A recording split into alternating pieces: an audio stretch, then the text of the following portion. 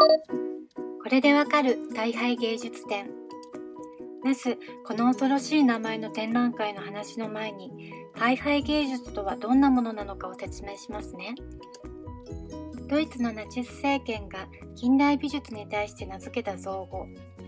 非ドイツ的な近代美術前衛芸術を社会や民族感情を害するものであると禁止するために打ち出した芸術館で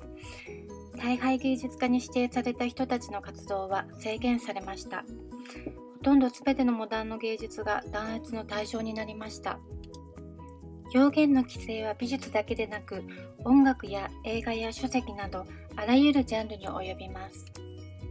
ジャズなどの黒人音楽社会主義やユダヤ人の作る音楽そして実験的な近代音楽現代音楽は大敗音楽として規制されました。大敗芸術展。1937年にミュンヘンでナチス政権企画のもと大敗芸術展というタイトルで展覧会が開催されました。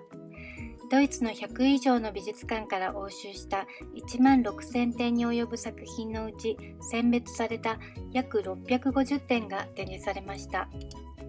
展示方法は窮屈な部屋が様々な仕切りで仕切られわざと混沌として圧迫感を与える構成。絵画は敷き詰められ中にはわざと傾けて飾られたり鑑賞者に先入観を与え程度の低さに憤慨するように仕向けるための文字説明もあったりした。そして大敗を強調するためにわざとらしく未成年者の入場は禁止されたそうです。徹底してますね。